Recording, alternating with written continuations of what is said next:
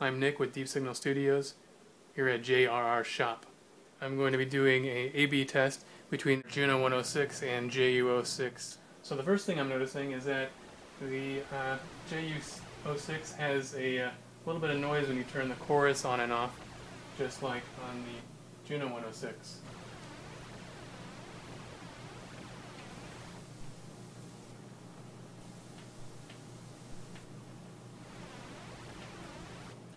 So I've been going through the patches on both machines and they don't seem to be exactly the same. They're pretty close. Uh, so what I've done is I've set them both to manual mode. So here's the Juno 106.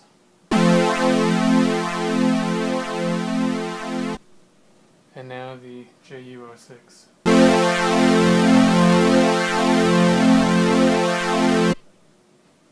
Again, the Juno 106. JU06.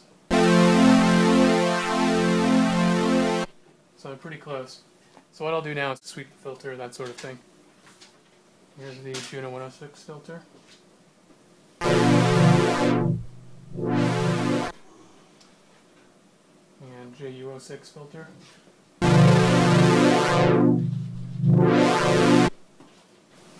And now we'll sweep up the sub oscillator. First Juno 106.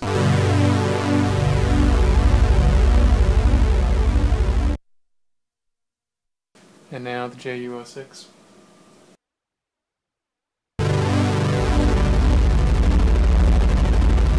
So now we'll sweep the filter with the LFO. First the Juno 106.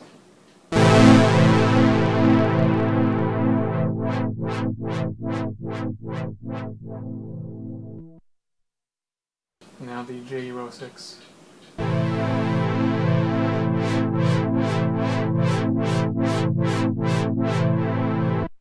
So here's where I think we'll be hearing a little bit of a difference. I've got the resonance set up at about 7 on both machines.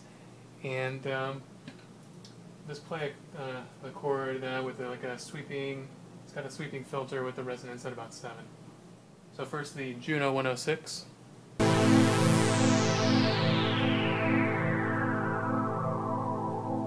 Now the JU06.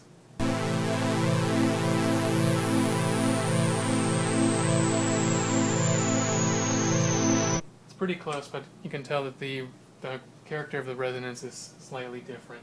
So one thing I'm noticing is that the on the Juno 106, when you set the envelope, the filter to the uh, follow the envelope, and you have it on a, a negative uh, polarity, it uh, will the filter will follow the release. So opening some more once you let go of the keys.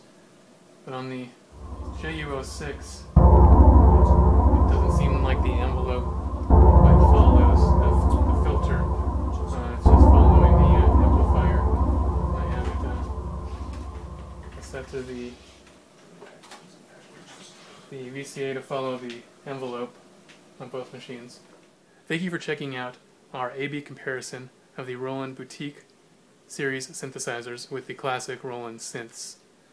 I'm Nick with Deep Signal Studios here at JRR Shop.